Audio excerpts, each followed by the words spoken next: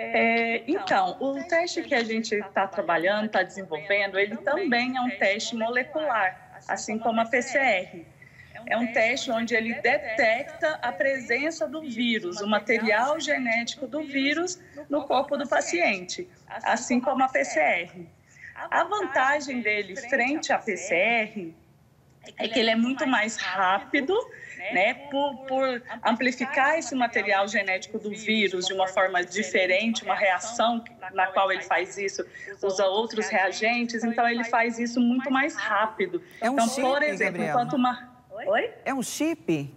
É um chip. A gente faz a reação de amplificação do vírus dentro desse microchip, onde ele onde está mostrando aí, a gente coloca a amostra do paciente junto com os reagentes para fazer essa reação de amplificação dentro de um microchip, assim, dois centímetros mais ou menos, onde tem uma câmerazinha onde você faz essa reação para amplificar o material genético do vírus e depois, posteriormente, detectar. Como vocês estão vendo no vídeo, olha, quando termina tudo, você vê um verdezinho fluorescente. Ó, isso são fotos reais do teste onde está à esquerda, né, o paciente saudável e à direita o paciente que está contaminado com Covid, onde ficou esse verde fluorescente aí. Então, a leitura do resultado é muito fácil, como vocês estão vendo aí, ó. Você pode bater o olho e já conseguir falar, ah, esse paciente está contaminado com Covid ou não, porque quando ele estiver, eu vou conseguir visualizar esse verde fluorescente.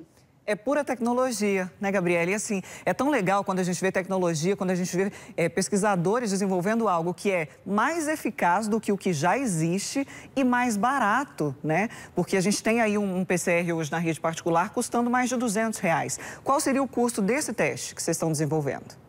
É, então, o teste é todo de baixo custo, não só a plataforma onde o teste é feito, que é esse microchip, que é feito de material barato, descartável, de baixo custo. A plataforma é de baixo custo, essa plataforma fica onde é feito o teste, é coisa de centavos, 10 centavos, 15 centavos, a, o chip em si, a fabricação. Isso que eu estou falando para você é o preço de custo, né, para fabricar ele.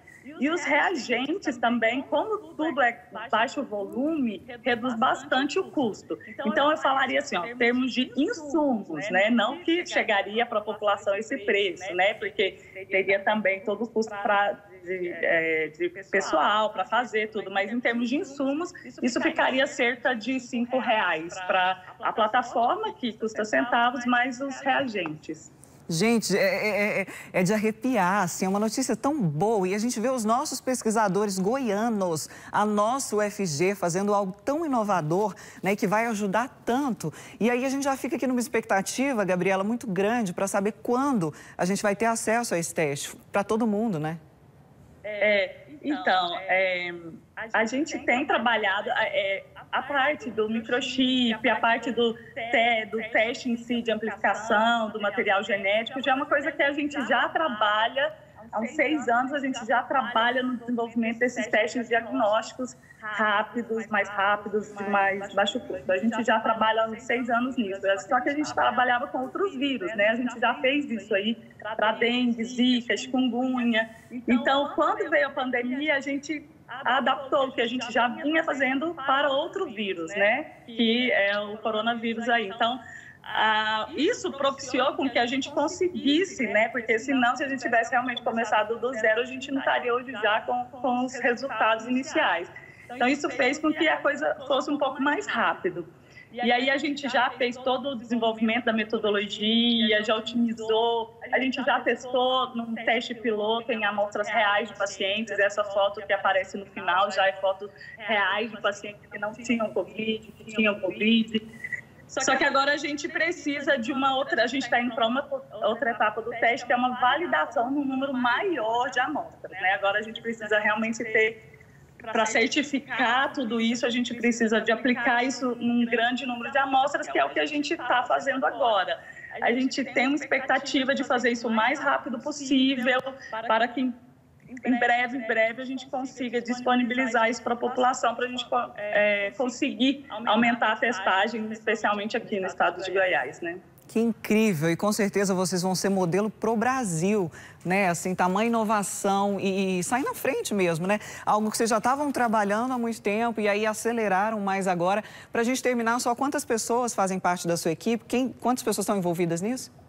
Então, esse projeto aí, é, ele é, é está em colaboração também com uma outra professora do Instituto de Ciências Biológicas, a professora Elisângela Lacerda, que faz parte da equipe também. E a gente trabalha com mais quatro alunos de pós-graduação.